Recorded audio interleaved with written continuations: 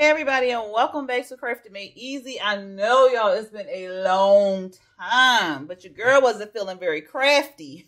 but anyway, we are back and I just created this little ornament based off something I saw in Walmart. If you're interested to see how I put this little thing together, stand by.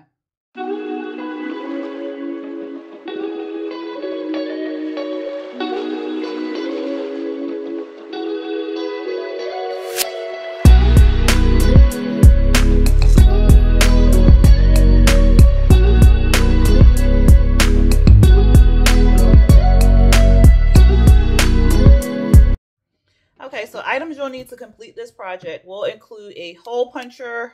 Um, I think this is called a bottle cap hole puncher. I'll get the exact name and it'll either be across the screen, but it'll definitely be in the description box below.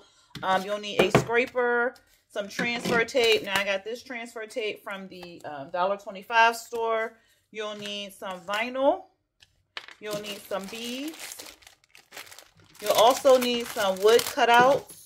I also got these from the $1.25 store, and then you'll need some type of string. So for this project, I'll be using the satin string. Um, you could, if you have it on, if you don't have this on hand and you have this on hand, you can also use the Stretch Magic string. So um, those are the things that you'll need for this particular project. I believe that's everything. If I miss anything, it will definitely be in the description box below.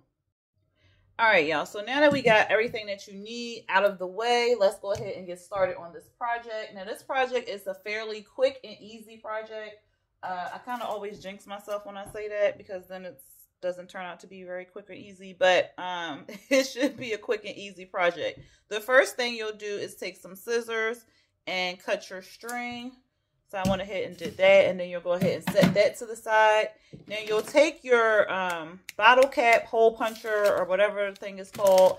And you'll punch a hole in the cutout. So I already punched a hole because I wanted to make sure it would actually go through. But it's fairly easy. This is my little sample because I got some dye on it. Um, so all you'll do is kind of line up where you want to punch your hole and Focus. Then you'll just punch your hole right through. Fairly easy. And then ta-da, you have your hole. Now I do have all right, so I'm just gonna grab a needle just because my um, ends are a little frayed on the end, and it'll just make it a little bit easier to put through the hole. So all I'm doing is putting it through the needle, pulling the hole through. I mean, mm, pulling the hole through, pulling the string through the hole, releasing the needle, and we have the string through the needle. All right. So once you have that, you can just put that to the side for right now or just lay that flat. And then you're going to get your vinyl. I'm just going to move that to the side.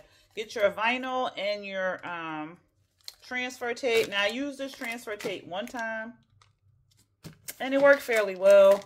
Um, it is a dollar twenty-five if you don't have any um, transfer tape. And they also still sell the other stuff that people use for transfer tape.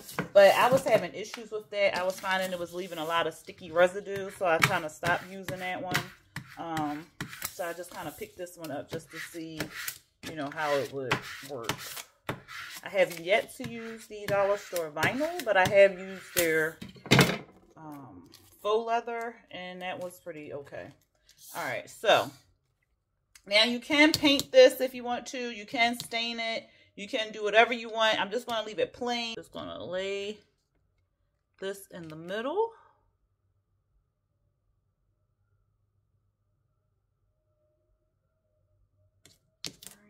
such. And then, and this cutout is pretty smooth, so you don't have any, you don't have to sand it or anything because it's pretty smooth. Hopefully that, nope.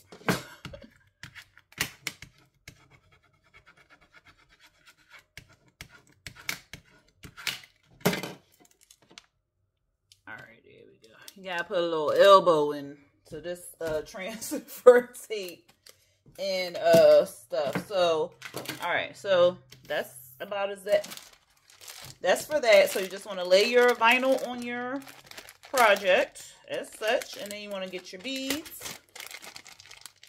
So I think I'm going to do two white and a little sparkly one. And I will have where I got these beads from linked below. Oh, that's so pretty. Look at that, y'all. Ooh, I like it.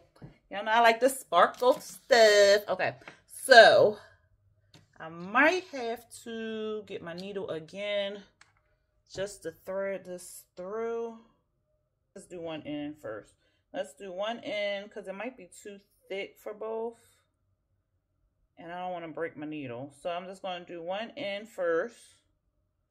And then all you're doing is threading your um, bead through.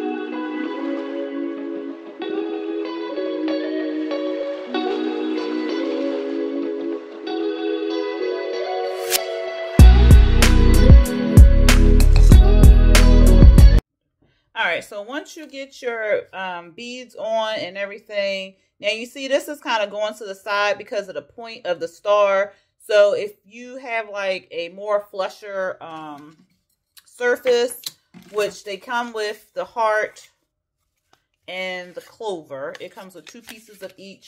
They didn't have any circle ones. I didn't see any in my Dollar Tree, any circle cutouts, but the circle one um, would have been, you know, a little bit better, but they didn't have any in the Dollar Tree. But um, I don't mind that it's off to the side. But if you have a more, a less pointier uh, surface, it won't go off to the side like that. So anyway, what you'll do is you'll pretty much tie it off. Now you don't have to really like tie your, oops, I accidentally put a knot in the top, y'all. You don't necessarily have to tie your beads in place because your beads aren't really going anywhere. But um, if you want to, you can just make a little knot. You can take these two ends and tie it like such at the top like that. And then you'll, where you're kind of taking both ends and you're twisting them over as such and pulling it through like this. And I can grab the, see nails is cute when you doing um when you go into an event or something, but it is not cute when you're trying to craft. So there we go. Good. And there you go. And that's enough to kind of, that's enough space where you can put it on a tree. Um, now if you were putting it on a door or something like that, you would need just a little bit more loop. But uh, I'll think I'm just putting it on like a tree or something like that. Or like on a fireplace, you know, something cute. And then, of course, you would just clean this up. So chop that. Oh, Lord have mercy. These scissors suck. Get you some good scissors. oh, goodness. Okay. So that is the project. It very quick, very easy. Didn't take long at all. The longest it took me is to figure out what kind of knot I was going to put on their sucker. But anyway, y'all, I hope y'all enjoyed this video. If y'all did, please don't forget to hit me with that thumbs up button. Don't forget to subscribe to my channel if you are not already subscribed. And also don't forget to share this video. Um, I hope y'all have a blessed and beautiful day. I hope y'all have a blessed and beautiful week. And until next time, y'all, peace.